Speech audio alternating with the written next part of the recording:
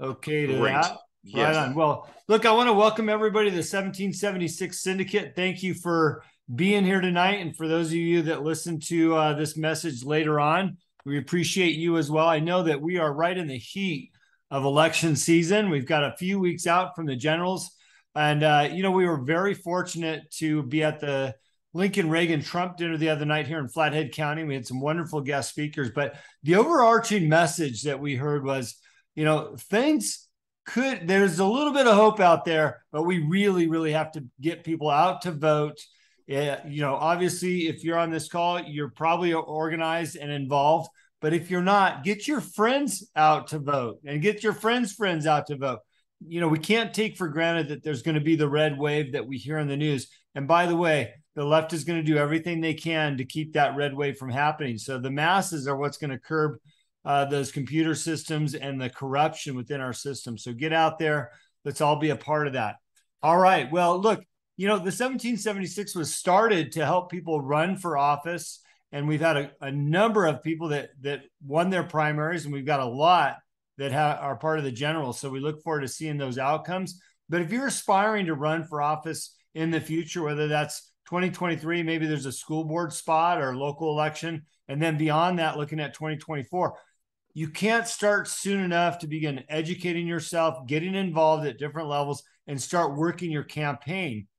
And one of the things about the syndicate is if you're a member on the back end of our website, we've got some great materials that you can use as resources, whether that's a campaign guide, a budget guide, people that you can reach out to, marketing assistance, and the list goes on. Not to mention, you have a huge library, almost 12 months of uh, special guests across the board, from elected officials uh, to speakers on the Green New Deal and the dangers of that and everything in between. So, and tonight's going to be no different than that. We're bringing a great resource on, and I'm going to read uh, the bio here of our special guest, and that's Arthur Shaper, who I met really. Oh gosh, I should have made that correction right away. Uh, Shopper, that's Shopper. my last name.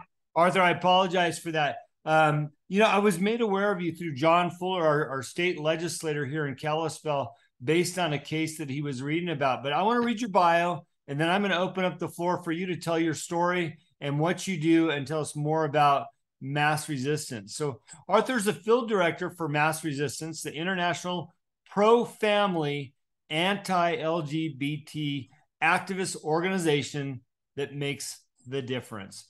Under Arthur's leadership, mass resistance chapters have opened in Ohio, Texas, New York, Canada, Hong Kong, and elsewhere around the world. Since 2004, Arthur has been a committed pro family activist fighting the LGBT agenda and the lies it's based upon. With his help and working with an incredible group of activists around the United States and the world, Mass Resistance has shut down drag queen story hour programs, removed perverted sex ed programs from public schools, and stop bad legislation like bans on life saving reparative therapy.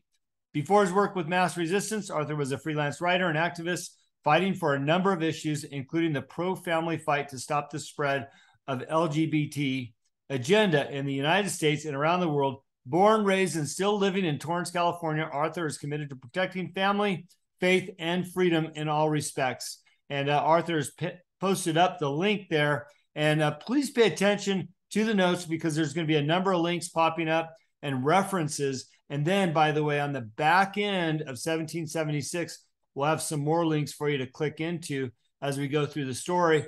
And Arthur, I love, I don't love that you're in California, but uh, I am familiar with your hometown there and uh, kind of what the the surrounding area looks like. And you are right in the thick of everything. So uh, yes. Appreciate you being on the show tonight. I'm going to turn it over to you and uh, would love to hear more about yourself and what you're doing with mass resistance. Thanks so much, Jim, for having me. And I want to thank the rest of the 1776 Syndicate for allowing me to speak with you today. Uh, the, the LGBT agenda is quite a contentious subject. Even now, I am glad to see in a number of contentious uh, U.S. Senate and House and even governor's races, this issue is coming up again because of the repeal of Roe versus Wade. Because God bless Justice Thomas, he is ready to right another historical wrong by our overreaching Supreme Court, which normalized. I don't call it gay marriage. I call it false marriage. Two men cannot be married. I don't care how many bad lawyers in black dresses declared otherwise.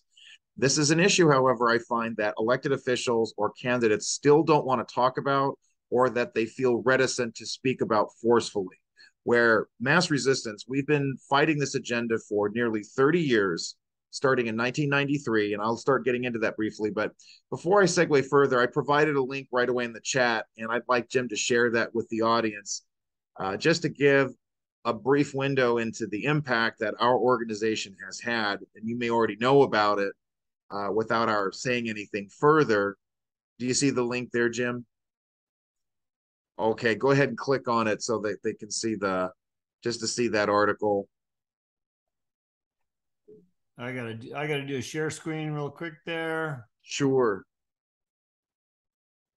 It just occurred to me this would be a great way to start everything. Okay, please start sharing now. There we go. Excellent. So, how many of you recall how in Houston, Texas, there was a drag queen story hour program where not one, but two of the drag queens were exposed as sex offenders. How many of you may have heard of that? All right, that was mass resistance. That was our effort specifically. Tracy Shannon, right there, she's wearing the, she's holding the purple sign. She and her colleagues, they did the work that the local press and certainly the library failed to do, which was to do a basic background check. Of course, we have now seen our organization has uncovered in many drag queen programs these perverted men dressed up as garish parodies of women they have they work in the sex trafficking industry prostitution many of them have previous criminal offenses criminal records with uh, threatening uh, you know attempted murder prostitution and other sex crimes you know of course this is the most heinous an adult molesting a child so mass resistance exposed that we were not afraid to have that very difficult discussion pointing out that this whole LGBT agenda it's saturated with child predation, child abuse, and and the like. We have to have the courage to speak on these issues. But now let me get to my script of sorts. So to, tonight I am privileged to be able to talk about our organization, who we are, why we need to care about fighting this LGBT agenda. Whereas, as I just mentioned, a lot of politicos want to kind of avoid it. I want to talk about how to talk about this issue because I understand that candidates and even elect current elected officials are going to be watching this program. How to deal with this, how to approach, approach this issue with fellow conservatives, family, etc. I want to talk about the pro-family victories we have and we've already uh, achieved, what we need to do to fight this perversion, and I want to talk specifically about what mass resistance has done in Montana. All right, so who is mass resistance? So just to just to repeat, my name is Arthur. I'm the field director. Uh, we are the we are an international group. Uh, for over 25 years, we've been fighting this culture of death, this destructive LGBT agenda. Our efforts began in the public schools, specifically in Newton, Massachusetts. Brian Camenker, he's the president of Mass Resistance. He, as a parent at the time, this was in 93, he noticed the awful material that his children were receiving in the public schools uh, you know, sex ed related, absolutely perverse stuff. He and a group of parents organized to push back on the school district to end this perverse curriculum. Later on, they were able to mobilize parents statewide and they forced passage of a law, an opt out law, so that kids would not have to participate in the sex ed curriculum. Remember, this is deep blue Massachusetts. It was blue even in 1993. Mass Resistance, we're a unique organization because we are an in your face confrontational pro family group. We do not shy away from speaking the truth about the destructive homosexual and transgender agendas, as well as the connections with the Black Lives Matter and critical race theory, or rather racist theory garbage that's being pushed in schools current, currently. It is important for me to stress with all of you that the whole agenda is suffused in many school curricula now. So why is this fight against the LGBT agenda so important? Okay. The first question many conservatives often get from fellow conservatives, where we've seen a libertarian temptation start to become very pervasive, And I know that's particularly the case in mountain states like Montana, Idaho, and especially Wyoming. The question we often get posed well, who cares what two consenting adults do in their bedrooms? It doesn't affect me or you, so why should we care? Well, the fact of the matter is, especially now, we recognize that private behavior has public consequences. Yes, sexual conduct is a private act, but its consequences do not stay in the bedroom. We have seen this LGBT movement go from normalizing a perversion in the bedroom to invading the boardroom and now indoctrinating in the classroom. And now it's come into our rooms where we don't have room to be citizens enjoying our own natural rights. This is an agenda that affects all of us. And even at the very at the very tip of the spear, the federal government spends $35 billion alone on AIDS treatments alone. Right away, there's a financial burden that impacts all of us. And of course, there's an encroaching tyranny. Homosexual activists have announced from the beginning that they were not content just to be free from penalty. They want their behaviors to be seen as normal and healthy by everybody else. Of course, the behaviors are not healthy, they are not normative. Uh, and I'll be talking later about research that our organization has done. I will never forget. I, I, as I mentioned, I live in Torrance, California. In Hermosa Beach, California, I was at a town hall for our congressman, and a gay activist got in my face and plainly said, "You have to accept me. I will not accept tolerance." Of course, he didn't understand the meaning of acceptance or tolerance, but that is the mantra basically of this whole LGBT movement. And we see this kind of abuse manifest in gay pride parades, where it has become very clear that they not only celebrate their behavior, but they expect you to accept it. And this degeneracy is degrading the public square and it harms our children. These destructive behaviors are now required instruction in a growing number of states and parents are not allowed to opt their children out of the learning. I also want to give a brief history lesson on how pervasive and destructive this LGBT nonsense has become. We can go back to 20 years ago when a pastor in Sweden named Åke Green was, was sent to jail simply for preaching against all sexual perversions, including homosexuality. Now, he was ultimately acquitted, but the legal persecution began as far back as then, and this is in the Western world. We can fast forward to 2015. Dr. Paul Church of Boston at Beth Israel Deaconess Medical Center. He lost his job as a urologist simply because he told his gay patients the truth about the harms, the inherent harms of their sexual behaviors.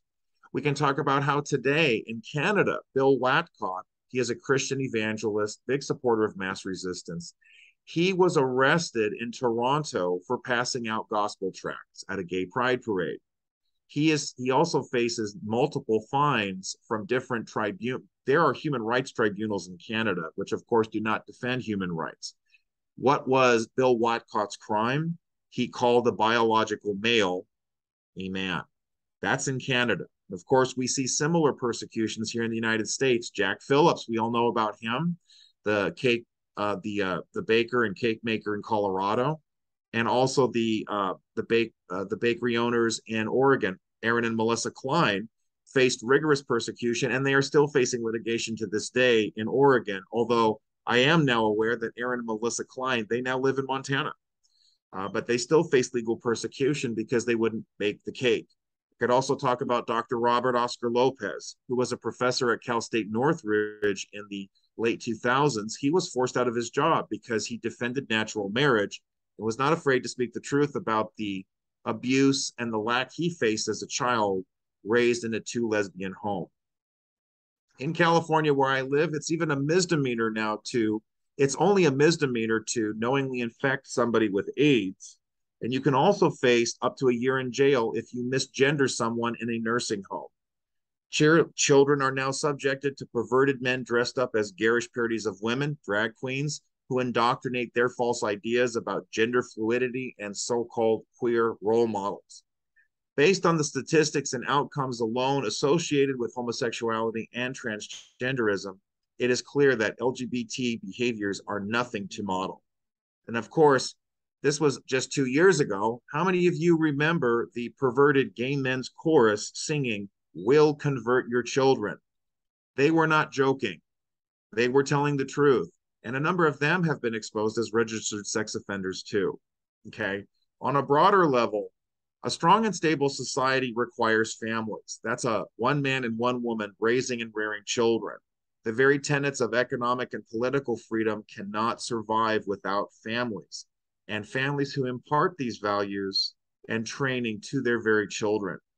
You can read the historical accounts of Polybius, an ancient Greco Roman historian. He was an eyewitness to the implosion of the Greco Roman city states because of the breakdown of the family. Fast forward to today, and we see this same civilizational breakdown in New York, Los Angeles, Seattle, Chicago, and it's inching its way towards every other community in our country and around the world. This LGBT agenda does very much affect us. What happens in private has public consequences. What happens in Vegas does not stay in Vegas. Now, the interest I have in speaking with you and the 1770 Syndicate as a whole is how do we talk about this issue with fellow conservatives? Because really, this is the first line of attack. We find that even conservatives, by and large, are shying away from this issue or they want to give up on fighting for natural marriage, life, and family. So, I want to share with you a few years ago, a friend of mine in San Pedro, California, invited me to a special dinner with a small group of other friends. We were talking about the 2020 election, Congress, etc. And then the hostess brought up the issue of homosexuality as a point of discussion. Part of the reason is because they know about my work with mass resistance. And that pretty much right away set the tone. The people there uh, were, um, the, the way that they responded to that question pretty much says it all. The first guy had acknowledged, well, you know, was very uncomfortable and said, let's talk about something else. One lady at the table, a friend of mine, suggested that um, there is indeed a small segment of the population that is born that way. Another person at the table suggested that different hormonal developments in an individual cause people to have a different sexual orientation. But what struck me about many of the of the individuals in this discussion is that they had generated their views on this issue based only on personal experience. They had friends or relatives who were gay another lady who helps our organization shared concern about fighting this agenda because her son, he is married and has a child. He is pro gay and she is worried about losing relationships with her son and her grandson. Someone recently, someone, um, and someone even recently asked me about how to address this issue in more polite or sympathetic company. The fact is, nobody wants to be shut down or labeled anti gay, homophobic, or transphobic. And the first thing to engage in these situations should be are you talking are you willing to are you talking to someone who's willing to listen or are you dealing with an activist or a leftist who is not interested in a discussion but is just interested in shutting down dissent? Again if we're in a generally conservative milieu we hopefully have an audience that's willing to listen. Once that's settled you just have to speak the truth but speak it calmly.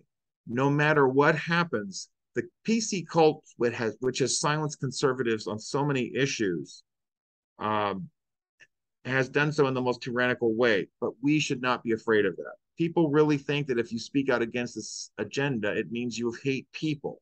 But here's often the the uh, this is the analogy I respond I use to respond to that charge. If you have a loved one and that person is dying of cancer, you're going to hate that cancer because it's killing the person you love homosexuality, and transgenderism. These are disorderly forms of conduct. They're a cancer. They are killing people. Homosexual conduct, it cuts the lifespan short by an average of 20% of each individual who engages in the behaviors. That is not um, that's not a form of love. It's a it's not healthy. It's not normal. And even the homosexuals themselves, they know it. Uh, Milo Yiannopoulos was well known as an outspoken you know, libertarian leaning conservative with Breitbart. He now has his own, uh, he now has different kinds of enterprises, but he could not but acknowledge the fact that homosexuality is inherently destructive. He talked about this at Boston's first annual Straight Pride Parade in 2018. Straight Pride. They had a they had a pride parade for straight people or spoke speaking up for natural marriage, life, and family. It it had a considerable audience that that attended. The Boston police had to show up in large numbers in order to defend everybody. Milo is now an ex-gay, and he's a big supporter of mass resistance, by the way. But we have to acknowledge the gay lifestyle and the culture itself is destructive.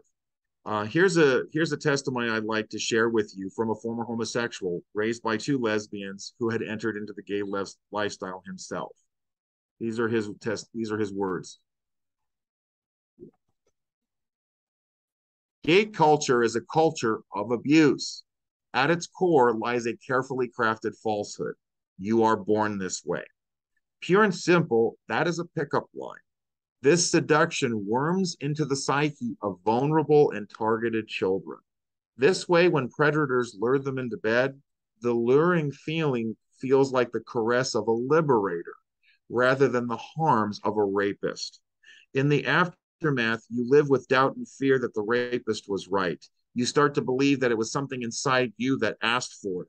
While anyone who points out to, to you that your experience was abusive is now cast as an oppressor the account that account alone is enough for me to for me to keep speaking out against this agenda and there are millions of people out there who have been harmed abused neglected molested raped such trauma damages a person's person's self-concept undermines the truth about who they really are and the last thing that we should do if we really care about love is to enable this discuss, to enable this dysfunction so here's the thing we need to start having this discussion as a culture, a robust debate about the origins and consequences of homosexuality and transgenderism in the mainstream.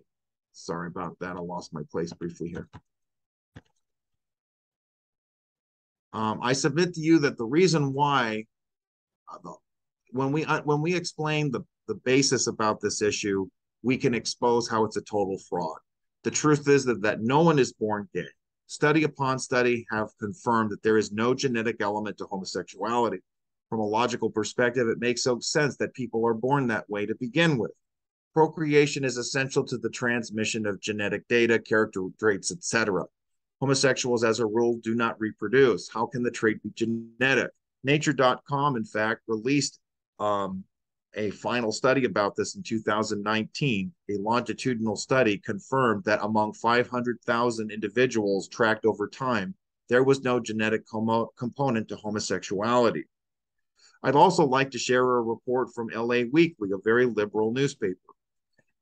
43 years after the Stonewall riots in New York City, gay men still struggle with high rates of drug, sex, and alcohol related problems. This is a situation that gay leaders are hesitant to discuss openly for fear that so-called anti-gay factions will use these facts to promote the to promote the bigoted view that men are sick and disturbed. Well, the fact is that these behaviors are are sick and disturbed. That's why these behaviors have been recognized as mental disorders for decades, and why civilizations across the board discouraged and even criminalized the conduct. Here are some statistics I'd like to share with you. Gay men are two times more likely to have cancer than straight men. The Cancer Network referenced a 60 60% preponderance of anal cancers among homosexuals. The Journal of Acquired Immunodeficiency Syndrome, this is in 2013, confirmed that homosexuals have a higher number of partners and a greater fre frequency of um, of, of part sexual partners compared to homose- uh, heterosexuals. Uh, Frontiers in Psychology in 2018 reported that there is a higher incidence of domestic violence among homosexuals. The Los Angeles Times reported in 2018 that STDs are skyrocketing in Los Angeles County, and the vast majority of those cases are syphilis, and they afflict gay and bisexual men. So let's wrap up. I like to wrap up common retorts that are used that are often uh, a response to people who stand up to the LGBT agenda or who try to normalize the conduct. Animals engage in homosexual behavior. What's wrong with humans doing the same thing? It's important to note that animals also kill their young. They abandon weaker members of their group.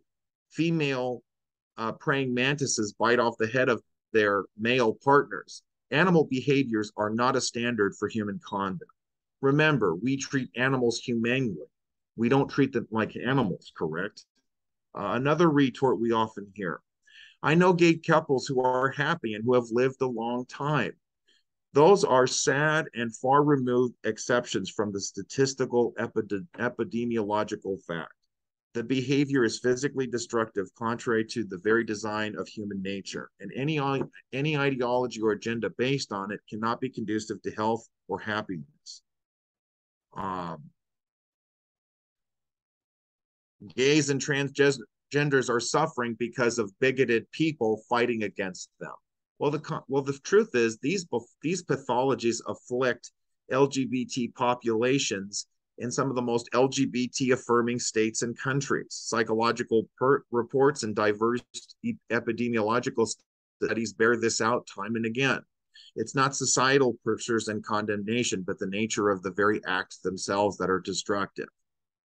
Uh, you'll often hear that it's we, we shouldn't say something we shouldn't say anything mean about lgbt people or or behaviors. It's wrong to discriminate. But the real problem here is the very meaning of discriminate. Taken at its core the word simply means to draw a distinction. We need to recognize that there are healthy and unhealthy behaviors. There are wise and unwise choices. There are good ideas and bad ideas. We need to draw these distinctions. And there are clear and there are disorderly distinctions re- connected with homosexuality and transgenderism. We're not talking about discriminating ab- against people based on value neutral or uh, immutable characteristics like skin color or ethnic status. People will even try to misuse the Bible. They'll say, well, Jesus said, judge not lest ye be judged. But of course, the original Greek in the Bible, it, it speaks about condemn not, lest ye be condemned. Telling the pe- telling people the truth is not condemnation, but clarity. It's a form of love. I am not sending anyone to prison or to hell when I tell them the truth that their behaviors are abhorrent and wrong. In fact, we're saving a life.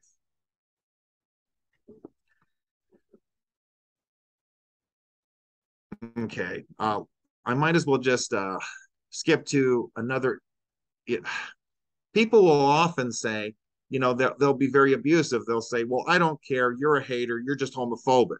Well on the contrary anybody who thinks that children should be polluted with this ideology ideology they're the ones who are truly hateful. Anyone who supports lgbt does not support love but rather hates individuals and anybody who is trapped in this lifestyle.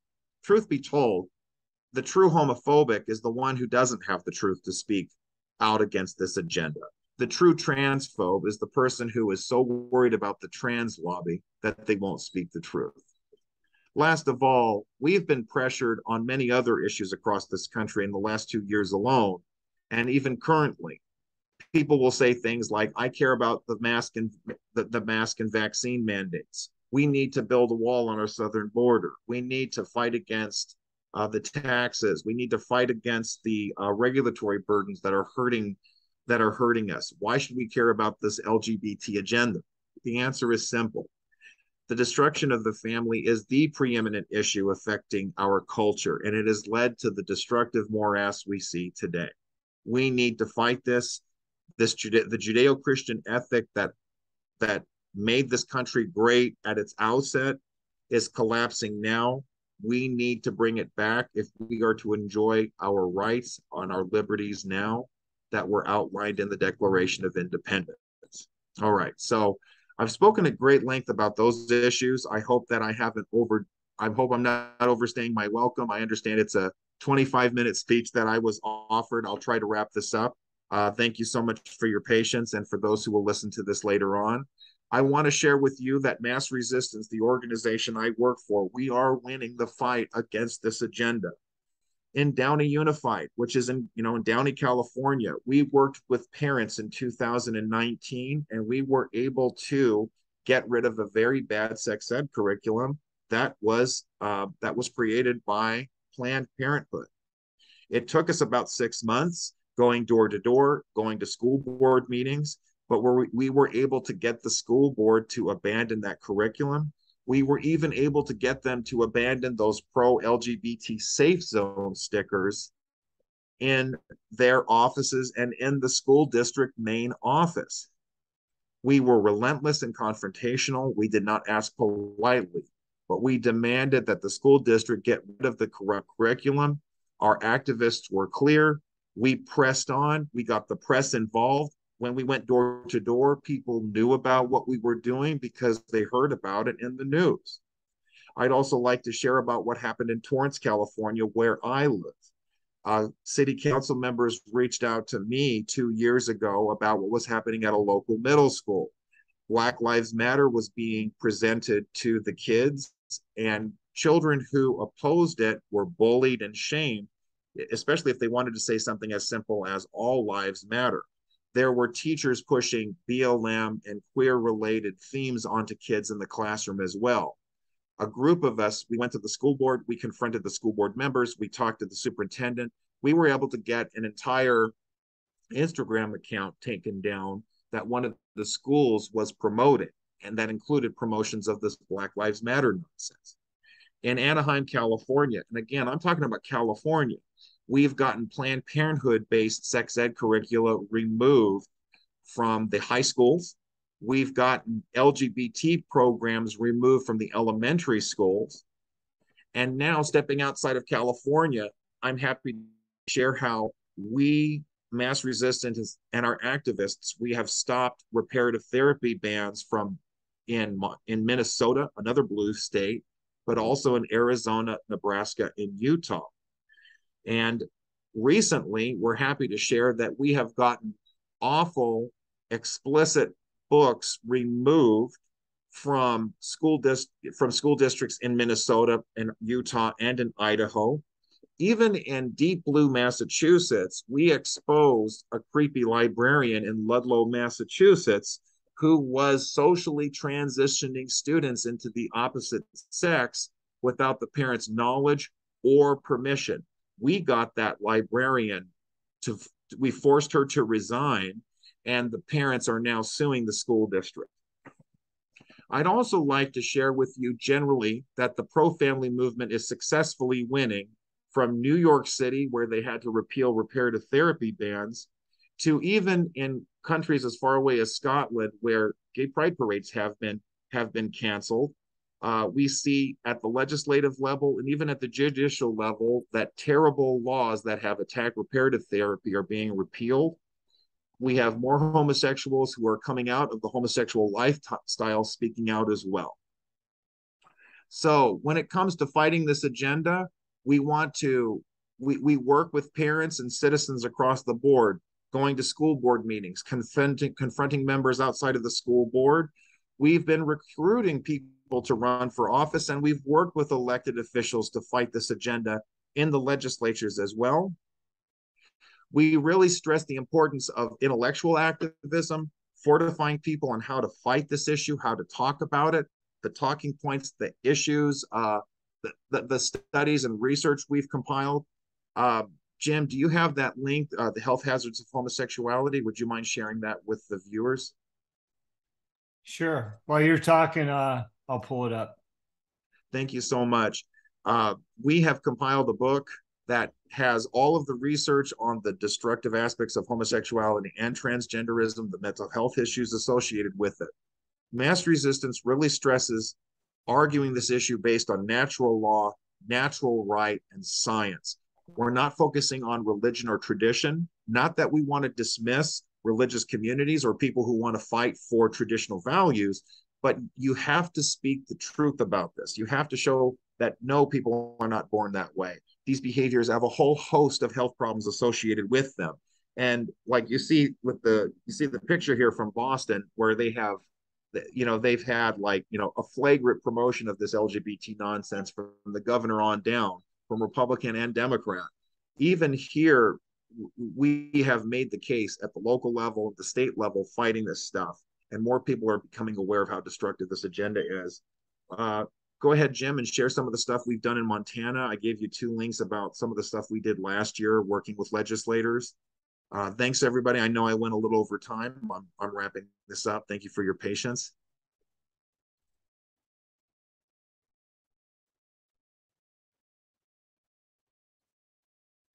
So we were uh, we were we were following very closely the two bills. One to keep the boys out of girls' sports, and the other was to uh, end uh, sex mutilation of minors. Uh, the the bill to keep boys out of girls' sports it did pass. Of course, the bill, and there's a Rep Fuller. Uh, we were very familiar with him and other legislators who were working on these efforts. Uh, the amount of backlash we faced two years ago to get rid of sex mutilation of minors was shocking. To see so many Republicans, not just Democrats, caving on this issue, falling for a lot of the hollow talking points and lies from big business, big pharma, as well as the big LGBT hate groups, was really shocking.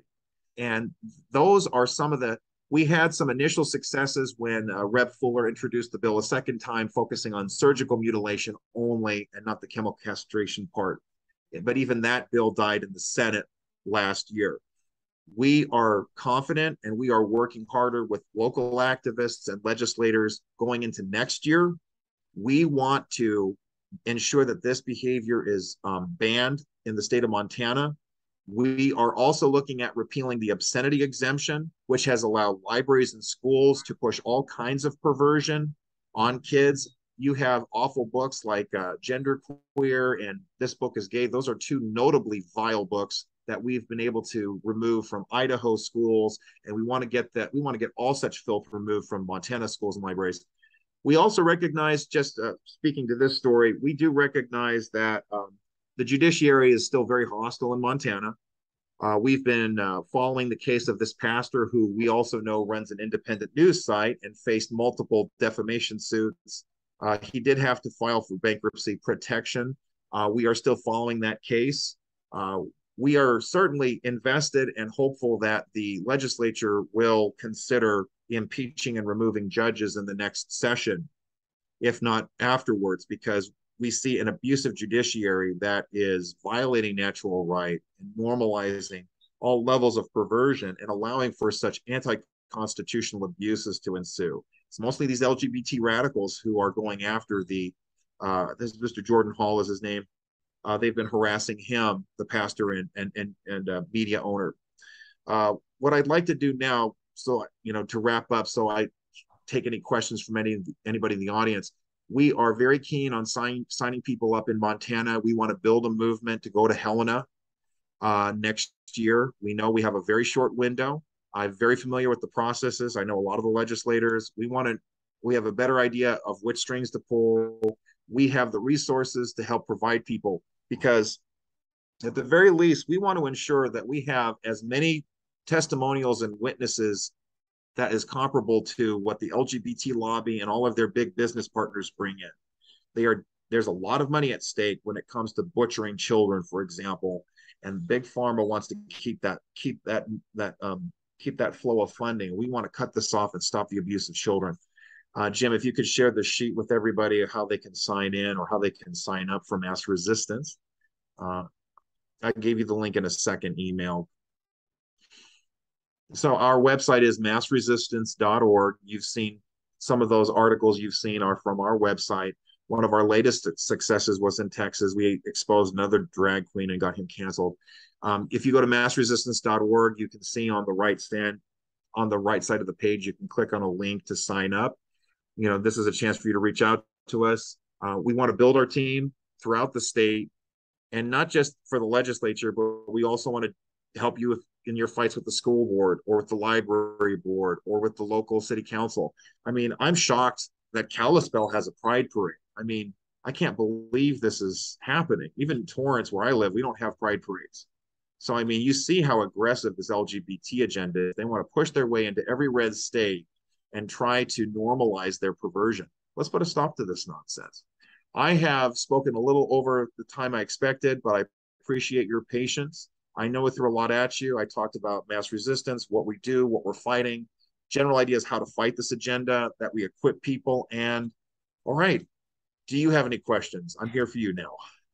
Well, Arthur, thank thank you so much, and, and uh, don't worry about the time. I felt like I was drinking from a, a fire hose, and uh, and I'm shaking with anger over what's become of our country and our cities, yes. and what has become important in the national news media and so many people's agenda uh, as you're aware, and and everybody on this call knows that I've fought a little bit of this at the library, and um, it it really hits close to home. And I've got a laundry list of questions. Uh, I mean, sure. I'm we'll probably have to have you come on another time. We try to be respectful to our hour, so I'm going to go to Rod so Rod can ask his questions, and uh, we'll get to mine. Maybe, maybe not. But Rod, please go ahead. I know we've got a couple guests on too. Wonderful. Thanks. um, Arthur, I really appreciate you standing up and stepping up and speaking out yes. um, and educating the rest of us. So, uh, that being said, um, I know that hospitals nationwide and even in smaller communities like ours are doing outreaches directly to schools, kind of bypassing the school boards and the parents. And, you know, I know that they're doing this intentionally um, under the guise of health and health care when they are really part of this whole movement. And is mass resistance aware of, of those efforts? And is there something being done to combat that too? It's almost like a sneak attack, um, an end run around, you know, the in your face pride parade and drag queen mm-hmm. story hours. I mean, there's the subversive part scares yes. me just as much. We are very aware of uh, you know unscrupulous and corrupted hospital magnates or you know you know healthcare technicians. They they usually are going through the counselors. You know they who take advantage of you know at risk youth who are struggling, and so you have these very creepy adults who will say, "Oh, you're probably transgender." In fact, we exposed this was a story in Idaho let me see if I can find that link. This was a this got international attention. Um, we had a can't we had a can't, this was in Coeur d'Alene. So I mean, and Coeur d'Alene is like uh, not too far from here. It, it, right. That the you know first of all, and it's like the most conservative part of a very conservative state. You know, and even there, you had this is an elementary school counselor in Coeur d'Alene who, you know, there was a there was a troubled daughter a granddaughter comes to you know had been had been telling the school the principal and the staff i want to be a boy call me a boy and this she was a very troubled girl her father had died in afghanistan so you know girls who struggle they have a connection with dad and the dad dies they start wanting to be males this is a common pathology that explains what's happened and so the counselor went along with this and said okay you're transsexual and so we're going to help you tell your mom and your grandma when you go home and so grandma called me and I said, Grandma, call the counselor, get her on the phone, and we're going to record this conversation. Idaho is a one-party consent state, so you can expose, you can go Project Veritas on anybody there. And we recorded that conversation. It was absolutely shocking. You have a counselor in an elementary school that is pushing this outrageous nonsense on an 11-year-old who is emotionally troubled. Um, I sent you the link, Jim. Go ahead and if you want to share that briefly with everybody. so it, it was just uh you know so we we put that story out the whole city um, just went up and you know th- there was a huge uproar about it. There was a massive protest at the school board. Uh, the idaho freedom foundation shared our story as well. We're very happy to report that we worked very hard on that school board. They had to change their policies regarding counselors and propriety so that this kind of a thing wouldn't happen again. That was a big success. It took us about a year. We had to keep, I mean, even in the most conservative areas, it's like the wheels of government just move really slowly. And of course, this was at the height of mask mandates and other outrageous problems that were permeating, you know, what parents were dealing with. So we just back to what you were saying, Rod, we are well aware of these medical uh, pipelines taking advantage of, you know, school, you know, school uh, staff and paraphernalia, getting to kids, um, grooming them into this transgender nonsense. That goes to back, back to also what we did in Ludlow. And uh, we're working with a father right now in Canada, Rob Hoogland. He went to jail because he he opposed what they the school district transitioned his daughter without his knowledge or permission. He opposed it. The school district and the state got involved. They even provided lawyers for the daughter transitioning to a boy, and and the father he they ruled against the father says you have to accept it you can't speak out against there's a gag order you have to go along with this the father violated the gag order he went to prison for two months just telling the truth about how this school had abused his daughter and turned her into a boy and he is still fighting the the free speech aspect there is hope that if there is success in the, he's now going before the Court of Appeals in Canada, and there's a likelihood of success here, and this will establish a precedent that schools cannot abuse the kids like this. So he's put a lot on the line to fight this fight. So we're very well aware of it. We're equipping parents to fight this. We we go through the city exposing this stuff, getting parents angry enough to come to the school board meetings and just raise hell at the elected officials so they do something about it. Good, good response, Arthur. I've got a couple shotgun questions for you. Maybe we could have quick answers, and then I've got a couple more challenging ones. And if uh, if anybody else has a question uh, during the last 13 minutes here, we'll we'll do that. But first of all, how come you've dropped the Q? Uh, they brainwashed me so much. I want to say LGBTQ, but why did you guys drop oh. the Q?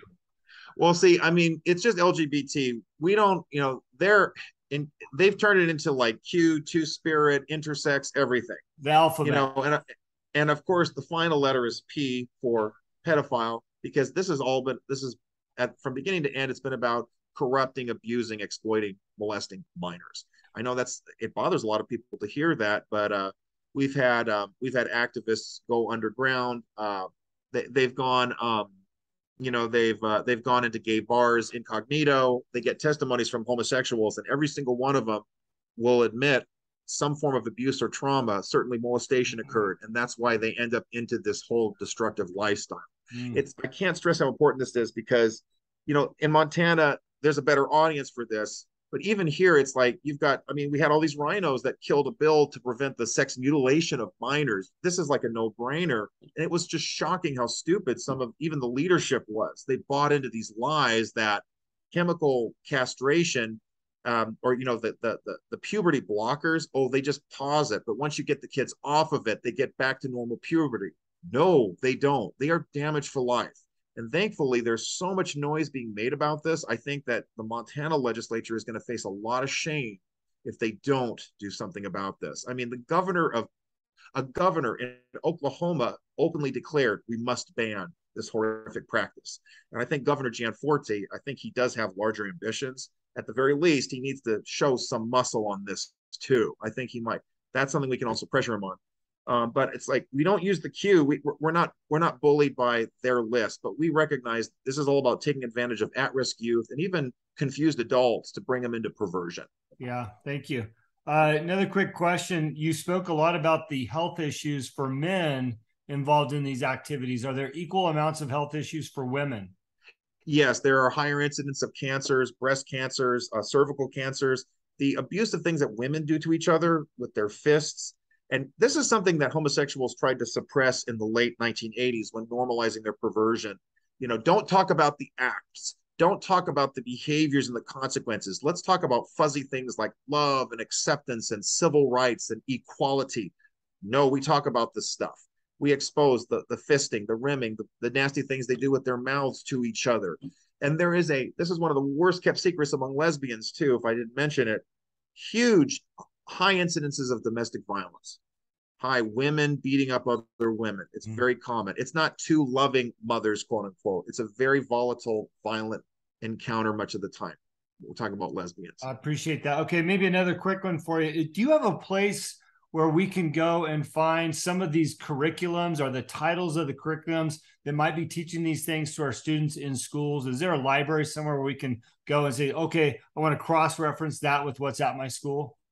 We we don't have um we, we don't have a specific resource like that what i can do though i can share it right now uh, what we did in downey california we had um uh, the, the samples of the curriculum that we got from them that I was able to take photos of it. We shared it with the public. The full dossier of the sex ed curricula that they were giving to, you know, all level, you know, K through 12, especially to special ed children that was really disturbing because special ed are you know they are they're a very at-risk vulnerable population. They don't know what's going on. They're very easy to manipulate and they are often targeted for sexual abuse.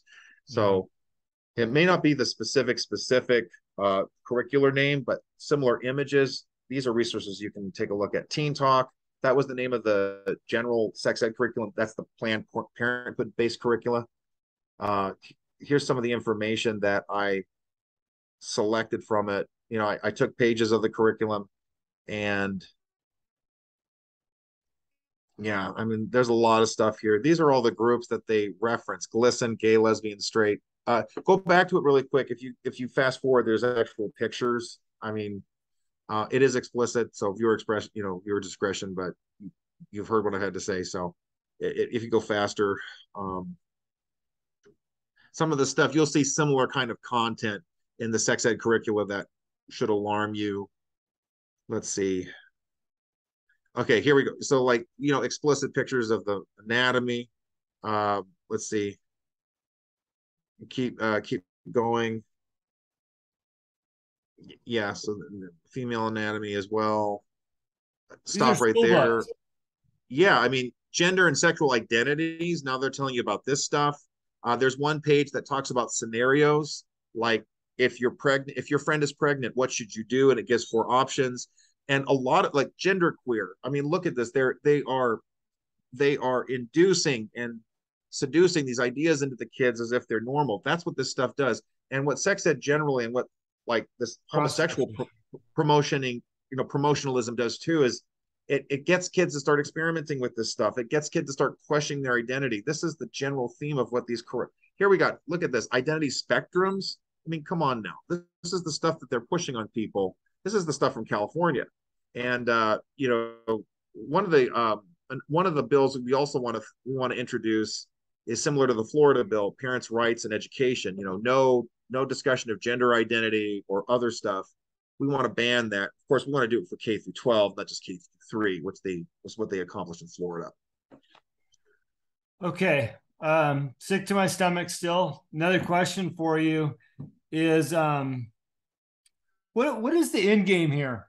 Is it is it strictly political or do we have a whole bunch of perverts that want to get away with these acts or is it a combination of both? What is the end game for so much tolerance across our country amongst the elites and the media and everybody? Uh, these are great questions. So this is um you've got like perverted people, you know, who who want to normalize their perversion and want to recruit people into their perversion. That's clear.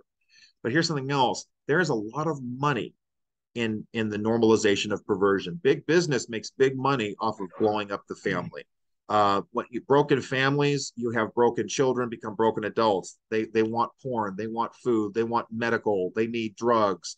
That you know, just unhealthy an unhealthy society becomes dependent on the state and becomes dependent on big pharma.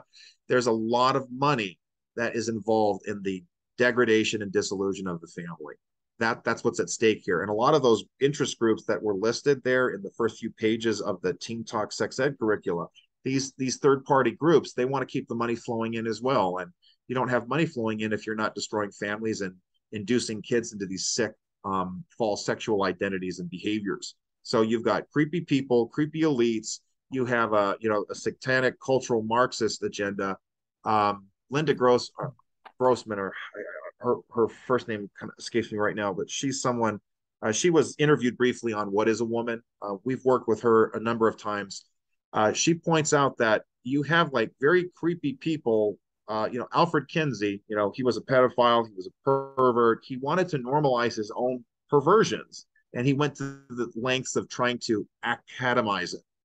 I mean, that's what it is. You've got sick people taking advantage of corrupt human nature to normalize this stuff at length. That's mm. that's what we're dealing with. And yes, it's very um, the political thing. I should add. Um, starting in San Francisco, you know, Willie Brown saw homosexuals as a great political bloc and it helped him become mayor.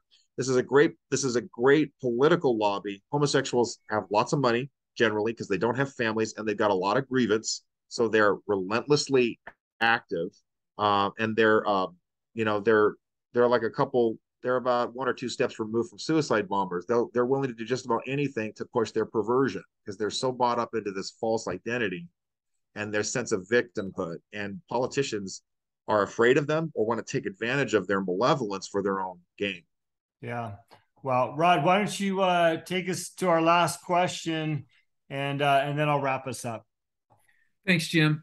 Um, my last question is this: I had looked up a while ago um, the the amount, the percentage of the the population that considers themselves gay, right?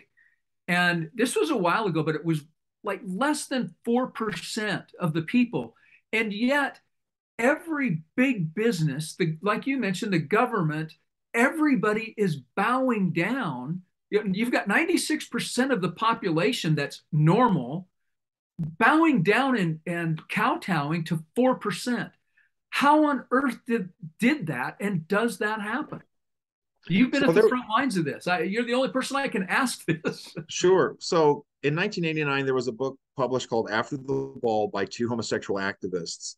And they it was like the Mein Kampf of the of the gay movement. And they discussed how they were going to push through media, academia, through major institutions to normalize homosexuals and to portray them as basically just like you and me. They just have a different kind of um, they just they love differently. And this is the this has been the promotion we've seen um, since the late 1980s until now. We we've seen it saturated in the media, and and that's why I spent a lot of time dealing with well, why do I care what two consenting adults do in private? They were born that way. Aren't you being cruel and unusual by going after them and giving them a hard time? A lot of people are not equipped to respond to this it became very and and you had for the especially in the early 90s i remember with the with the hiv outbreak and how george herbert walker bush was routinely assaulted and protested um, by gay activists. There was a large momentum that showed homosexuals as basically benign individuals or the movement as a benign movement. And these are individuals that are victimized. They are born that way. They are just victims of their natural endowments, etc. And it's cruel to be opposed to this. And so everybody's been bullied and shamed into it. And then you have corporate America that either you have very creepy people at the top of the corporation that want to roll out and go along with this, or you have cowardly corporations that are afraid of lawsuits, they're afraid of being labeled, canceled, diminished because they won't um, normalize and celebrate these perversions. So they go all in on this that's that's what we're dealing with. And that's why we are where we are now. People and it, and it, the fault lies with the general mass of people. We don't understand the importance of family. We don't understand the importance of mom and dad. We weren't able to put forward a clear and strong argument about why family matters why kids need their mom and their dad. And most importantly it's been the most pernicious lie that people are born that way. And we have not people have not had adequate research at their fingertips to fight back against that. That's why we talked about, I, I talked about the health hazards of homosexuality. I can also provide that specific study that there's no gay gene. Um, but it's, it's, you know, compare it with the pro-life movement. The pro-life movement, they, they faced a similar challenge. People didn't think the baby was a real person. People were foolish enough, you know, if you open up your Bible, it says fearfully and wonderfully made right? But if we have to go with science alone, a lot of people didn't know any better. Even Richard Nixon was pro-choice. Most people don't know that. Mm. Uh, you know, so but the pro-life movement, they made the point that's a human life. It's not a clump of cells.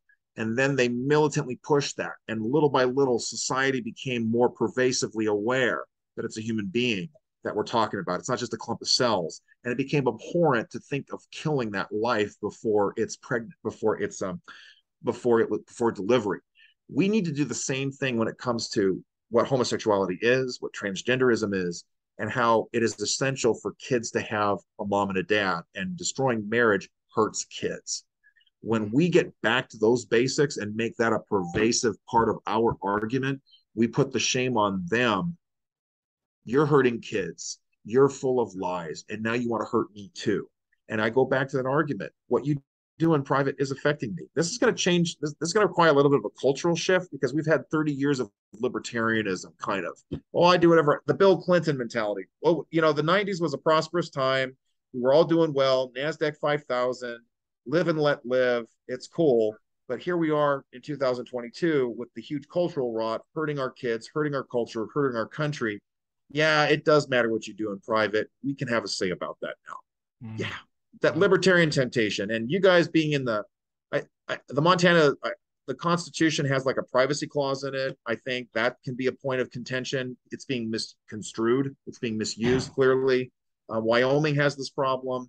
Uh, Idaho has this problem too. You know, we're you know leave us alone. Let us fish and hunt, and and we don't want the government in our lives. Well, you know, we need to keep the family unit strong. That that requires some effort. Arthur, I, I, think that's a great place for us to stop right at that seven o'clock hour. um, I I could listen to you talk on this subject, you know, a lot more, but it frustrates me even more that I listen to it. So thank you, thank you for. By the way, early on you said you know you're an organization that's willing to get in people's faces, and I want to thank you for that because that's that's where I feel I am at this point with people, and it's taken me a while to get there. But uh, I'll be, you guys obviously I, getting good at this. I know you have to wrap up, so I'll go really quick. You know, um, I, there's my phone number. I can make that public 781 474 3005. I get nasty calls too. I don't care. I can handle it. Um, I need everybody to sign up. I need all those legislators to sign up. Jim, please invite everybody. We got to get a nice group of people to go to Helena next year. Um, we need to get, we've got the talking points ready. We just need people. This is so important. And we want to build a mass resistance chapter army in Montana. We want Montana to be a nice pro family state you know, a big sky state, big family state. That's what we want. So please sign up, get other people involved. Let's make this happen. Thank you so much for your time. Thank you for that that final thought because pro family is what's going to make this country right again. So thanks for tuning into the 1776 Syndicate. We look forward to having you on next week's call. Watch these as often as possible. Please share what we're doing with your friends and family so that we can continue these type of great guests on our show. And, and Arthur, thank you so much. I'll reach out to you tomorrow. We can catch up a little bit. So thank you for your time tonight. Absolutely. One final thing, Jim. Yeah. Uh, next week's call, we do have uh, Sierra Claridge on from the Deliver Fund. Uh, awesome. She actually worked undercover with the countering human trafficking. Um, so we're going to have her on. So we've kind of got a, a link going on here with our educational component and, yes. Uh, and just and encourage everyone to uh, hop on next week as well. We learn so much and uh, are often more inspired by ordinary people who just get involved than by you know the big names. So again, thank you very much, Arthur Schaper. Thanks, Rod. Thank you.